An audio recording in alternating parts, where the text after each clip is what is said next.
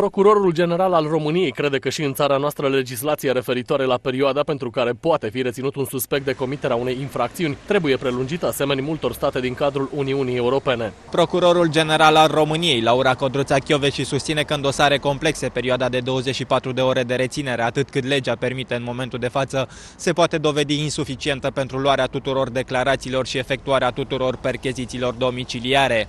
De aceea, ea consideră că trebuie schimbată legislația în domeniu, astfel încât procurorii să poată emite ordonanță de reținere de cel puțin 48 de ore sau chiar 72 pentru cei suspectați de comiterea unor infracțiuni complexe. Dacă propunerea va fi luată în calcul și legislația în domeniu va fi schimbată, acest lucru nu face decât să vină în sprijinul procurorilor. În primul rând, în situațiile în care suspectul este reținut pe raza altui județ, în altă localitate din țară, conducerea administrativă până la sediul parchetului, deducându-se din durata măsurii reținerii, poate crea probleme în sensul că timpul efectiv al reținerii se diminuează cu uh, perioada în care a fost uh, transportat. Propunerea procurorului general a fost primită diferit de populație. Deși mulți susțin că acest lucru ar îmbunătăți activitatea magistraților, sunt și persoane care cred că perioada mai mare de reținere a suspecților nu are nicio legătură cu performanțele procurorilor. Nu știu dacă va îmbunătăți